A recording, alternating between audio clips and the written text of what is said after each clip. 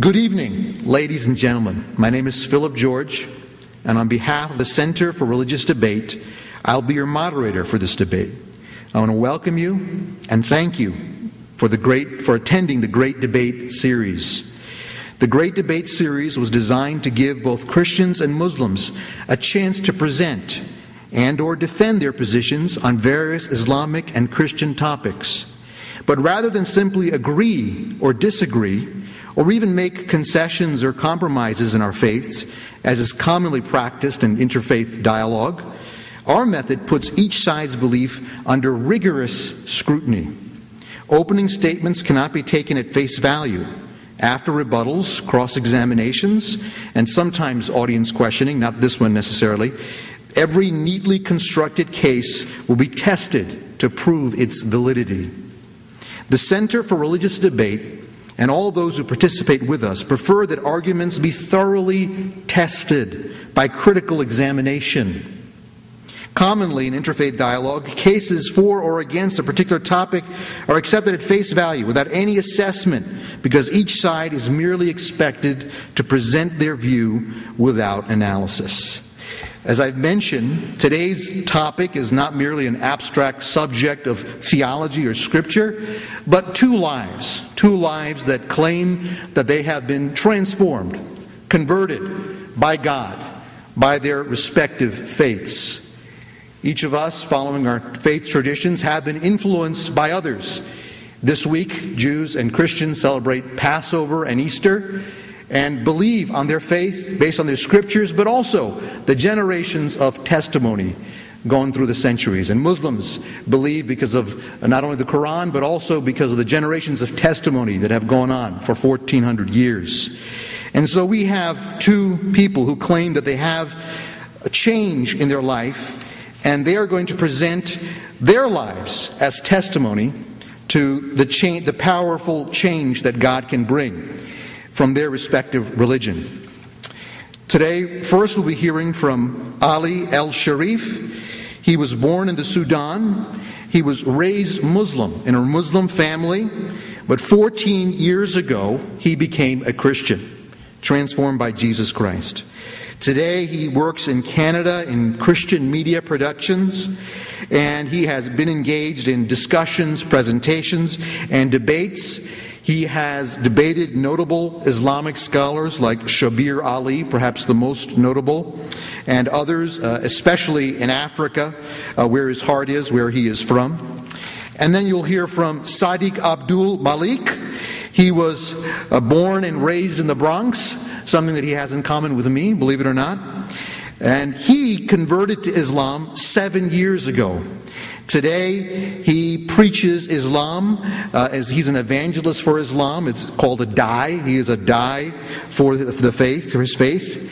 He uh, is frequently on radio doing discussions and debate on issues of faith.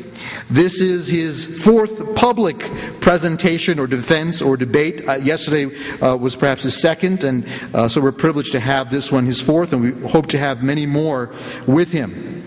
Let me quickly explain the format for this exciting time. As I've said, this is not just a mere subject, but these are two people who place their lives, their testimonies, under the microscope here before you for you to examine and for each other to examine. Each will make a 20 minute presentation, which will be their opening statement, and that will basically be the testimony of their conversion.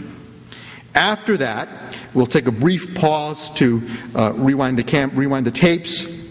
But then they'll discuss what they gained from their conversions, what they gained from their conversions. So the topic today is uh, what did I gain from my conversion? So that is sort of the heart of it during those 10 minutes. Then there will be a period of cross examination. There will be four questions for each of uh, the debaters today. There will be a minute to ask each question. There will be two minutes to obtain an answer. And there will be one minute for a commentary on the answer. So, without further ado, I present to you first Ali El-Shariff, who will make his opening 20 minute statement about his conversion, and then we'll hear from Sadiq Abdul Malik. I uh, first greet you in the name of Jesus, and I'm honored to be here today to be a witness for my Lord Jesus Christ. Uh, in many debates, you can actually discuss theology, and also you can argue doctrines. You can debate history, but you can never argue or debate or discuss life transformation, especially if it is about my life transformation, because it is my story and it is me who is the witness. After 14 years believing in Jesus Christ, today I could say that He has changed and transformed my life. He has transformed my thinking and my attitudes. In the next few minutes, I will tell you my story.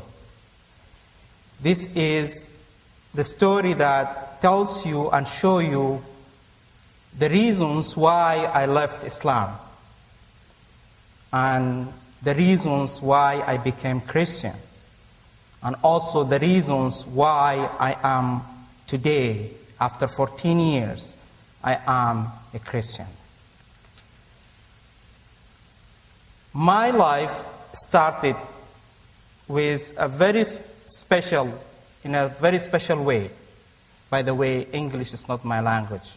I speak eight languages, and English is the third language. If you hear some of words, you might just uh, try to understand. I might glaze some French words or Arabic words. Don't worry about that. I grew in a Muslim family. My dad was a sheikh. He is uh, also the sultan of, of my clan in Sudan. And one thing he had in mind that I would be his inheritant to be the sultan. I didn't go to school. They sent me to Quranic school. At three and a half years, I memorized three quarters of the Quran. And at 10, I memorized the whole Quran. Still, sometimes I pray that I forget it, but still it is there. And I know that is why God has put me here and He gave me this ministry. My dad died. I went to school. And I started with questions that led me out of Islam by the end of the day. These questions I discussed and I talked with many people, especially Islamic scholars and sheikhs and imams.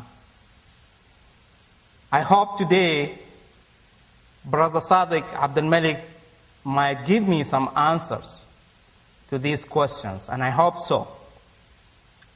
These questions actually let me leave Islam without turning back. The first question that came to me, I was in the high school, and all of you, and if you don't know today, you should know that every Muslim in this world has to face Mecca, the Qibla, in order to pray their five prayers or any other prayers. And one day, I prayed in a wrong direction. I was in the second year of high school. It was at night, and then in the morning, my brothers and sisters were laughing at me